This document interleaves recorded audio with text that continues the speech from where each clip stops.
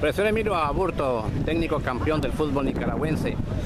Ante todo, felicidades pues de parte de Balonnica, profe, en este 2019.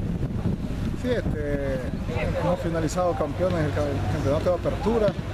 Ahora estamos comenzando de cero de nuevo, todos los equipos estamos parejos. Ya debemos de olvidarnos pues, de lo que pasó y trabajar por lo que viene. Profe, ya miró las notas de Univisión, ¿verdad?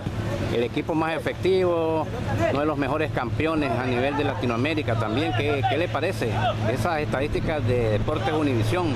Bueno, cuando uno gana un campeonato, importa uno es uno piensa en campeonato, la alegría, el fervor del campeonato. Y hasta hace, hasta hace poco pensamos en esa estadística, pues, y el, equipo está por encima de, todos los campeones a, nivel de Latinoamérica, con el 81.8%, no solamente con tres empates y dos, dos derrotas y siete victorias y dos, derrotas que pudieron haber sido también victorias, que el porcentaje se nos hubiera hecho un poco más grande, pues gracias a Dios aquí este, el que gana no es el Managua, sino el fútbol, el fútbol nacional y esperamos que el fútbol nacional siga creciendo. Profe, vienen gente nueva, se van, ¿cómo están los muchachos?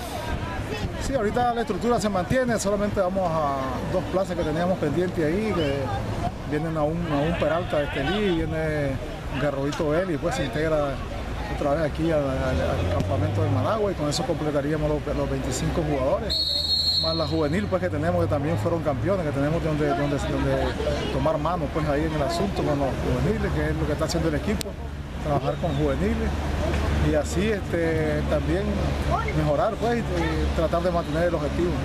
A prepararse duro para Conca Champions, profe, también. Sí, otro reto más para estar, en Conca Champions. Hay muchos jugadores que han pasado por, juveniles, por selecciones y creo que este también es un reto, un reto grande para, todo el equipo.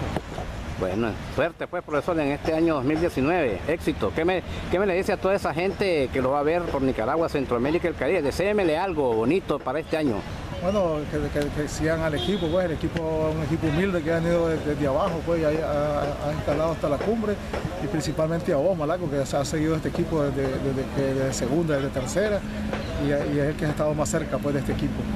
Gracias, por fin.